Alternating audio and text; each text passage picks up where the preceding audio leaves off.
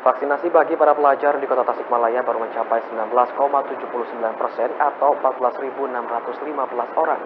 Untuk menggenjot vaksinasi bagi para pelajar, Senin pagi digelar vaksinasi massal bagi ribuan siswa sekaligus deklarasi vaksinasi pelajar yang dipimpin langsung oleh Presiden Joko Widodo.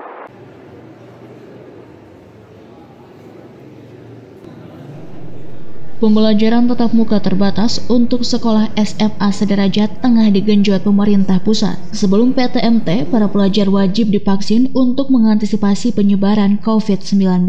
Untuk menggenjot vaksinasi di kalangan pelajar, deklarasi vaksinasi pelajar secara serempak dilaksanakan oleh Presiden Joko Widodo Senin pagi. Di kota Tasikmalaya, gebiar vaksinasi digelar di SMA Negeri 1 Tasikmalaya. Selain pelajar SMA Negeri 1, pelajar dari SMA Negeri 5, SMK Priwatas, MAN, SMA N9, SMA Pasundan 1, SMA SMK Muhammadiyah, dan MA NU juga mengikuti vaksinasi massal.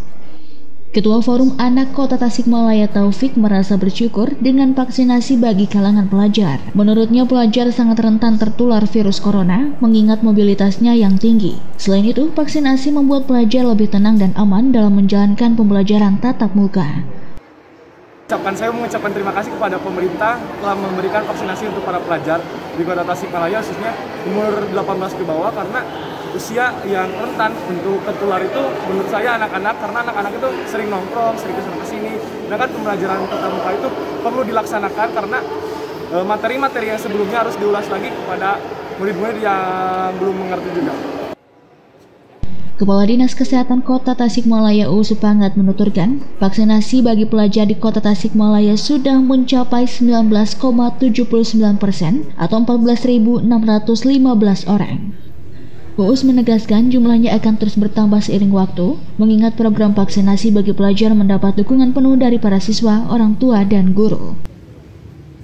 Untuk remaja, karena untuk usia sekolah ini kita kategorikan dalam kelompok remaja, eh, itu sekarang eh, sudah ada di angka remaja sendiri ya, eh, 19,79 persen atau kurang lebih 14.615 eh, remaja yang sudah eh, tervaksin.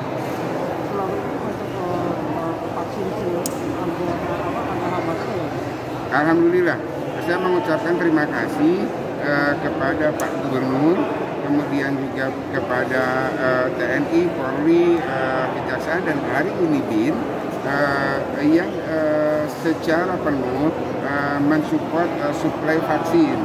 Seandainya suplai vaksinnya seperti ini lancar terus, Uh, dan uh, untuk karena untuk nakes kita sudah siapkan cukup banyak. Untuk tim vaksinator ini sudah kita siapkan cukup banyak. Kalau speednya seperti ini terus untuk vaksin pertama uh, saya berharap dan optimis Desember untuk vaksin dosis pertama kota Tasikmalaya uh, sudah bisa uh, selesai. Uus menambahkan, meski sudah divaksin, protokol kesehatan tetap harus dilaksanakan saat pembelajaran tatap muka terbatas. Muhammad Hasbi, Radar TV, melaporkan.